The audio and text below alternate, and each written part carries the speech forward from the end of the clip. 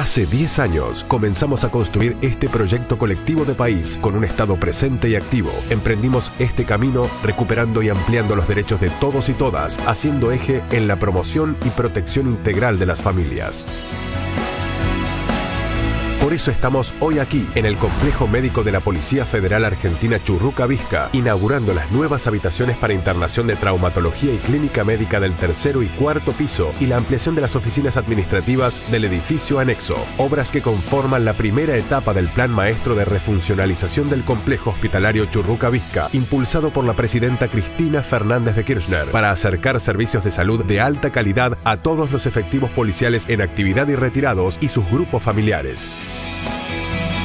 Con una inversión de más de 16 millones de pesos y el trabajo coordinado de los Ministerios de Desarrollo Social, Salud, Seguridad y Planificación Federal, Inversión Pública y Servicios, se remodelaron a nuevo 36 habitaciones, incluyendo cuatro salas destinadas exclusivamente a pacientes inmunosuprimidos y bariátricos. Sumamos 60 camas ortopédicas de última generación con sus respectivos portazueros, trapecios y tensiómetros junto a camillas, negatoscopios, carros de curación y balanzas, renovando también la hotelería de la dos salas del edificio para alcanzar el máximo confort de los pacientes y sus familiares. Así, las habitaciones pasaron de alojar seis camas a albergar entre una y dos camas por cuarto, generando mayor privacidad para el tratamiento y el acompañamiento de los pacientes. Todas cuentan con baño y están provistas de la aparatología necesaria, aire acondicionado y calefacción central, sillón reclinable para el acompañante, teléfono, televisión HD y placares empotrados. Los anchos de las puertas y de los pasillos también se modificaron para que los pacientes puedan ser trasladados sin moverlos de sus camas. Todas las camas, las mesas de comer, los y los sillones para acompañantes fueron íntegramente realizados en nuestro país. Son industria nacional.